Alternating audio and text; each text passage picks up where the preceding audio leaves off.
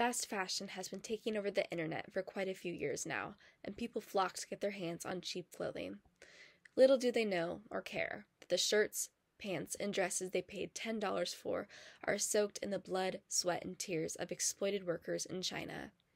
According to an article by Sangeeta Singh these workers are making roughly $556 a month to make 500 pieces of clothing a day.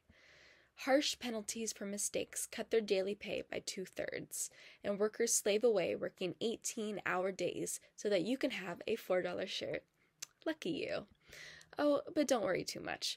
Workers are just having to wash their hair on lunch breaks because they get one day off a month. My culture jam was inspired by this result of capitalism and the exploitation of workers. Americans turn a blind eye to the pain and suffering behind their precious, fast fashion, and I chose to show this by redesigning the Shein's logo with chained hands and blood to represent the slave labor behind the brand. When the tired, bloody hands of their workers are pointed out to Shein, they swiftly smile and say, non compliant partnerships will be terminated. No changes are made, knowing that consumers will still eat up the fast fashion, turning their heads to their blood soaked garments.